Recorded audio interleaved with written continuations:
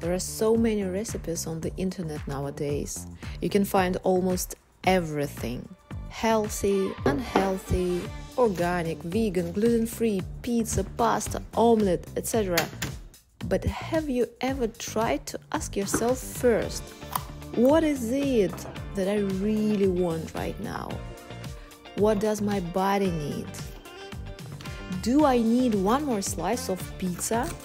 Or might I be happy and satisfied with this beautiful bell pepper omelette?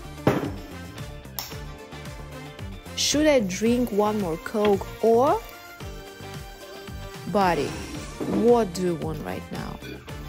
What do you need right now?